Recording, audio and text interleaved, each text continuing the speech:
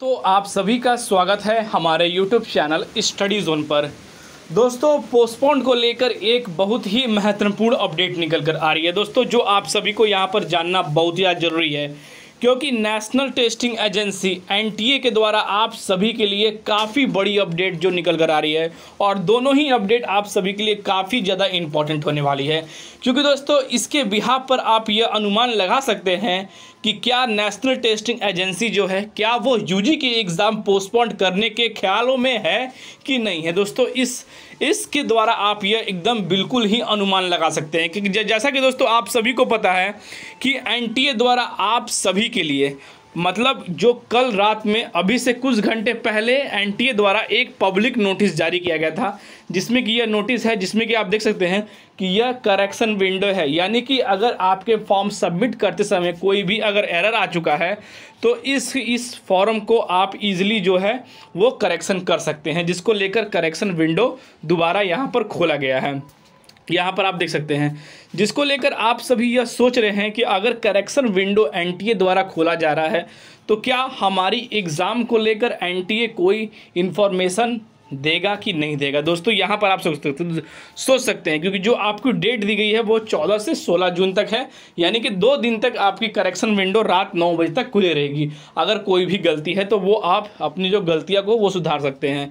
पर दोस्तों, सवाल यह है कि करेक्शन विंडो ओपन करने से क्या एनटीए जो है फुल फुल फुल्ली फुल जो है, यहाँ पर वो स्टॉप कर चुका है पोस्टपोन को लेकर?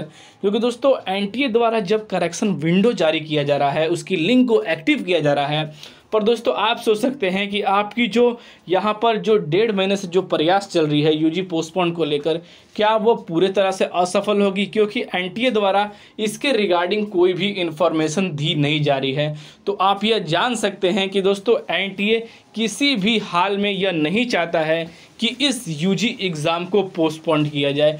क्योंकि दोस्तों यूजी एग्ज़ाम को पोस्टपोन के लिए सीधा सीधा यहाँ पर एक निर्णय निकल कर आया पाया था। उनके अधिकारियों द्वारा कि जो सीयूटी की जो एग्ज़ाम है, वो यहाँ पर जुलाई में कराई जाएगी।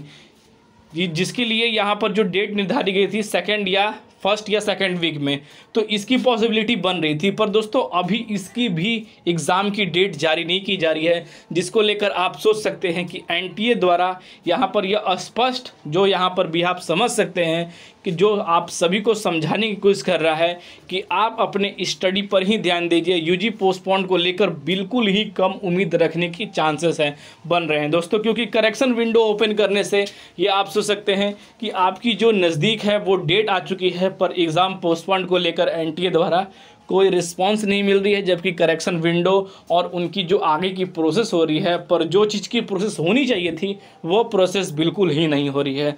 तो दोस्तों, यहाँ पर आपको क्या लगता है कमेंट करके ज़रूर बताइएगा। और फिर भी दोस्तों, अगर किसी तरह का एरर आपके फॉर्म में हो चुका है तो वो आप इजीली जो है यहाँ पर सुधार सकते हैं। तो इसके बारे में दोस्तों, अभी तक यही अपडेट निकल कर आ रही थी हमारे पास। अगर इसके रिगार्डिंग कोई भी इन्फॉर्मेशन निकल कर आएगी, सबसे पहले आपको हमारे चैनल स्टडी जोन के माध्यम से वो अपडेट शेयर किया जाएगा। तो फिर मिलते हैं दोस्तों अगले वीडियो में। तब तक दोस्तों, जय हिंद।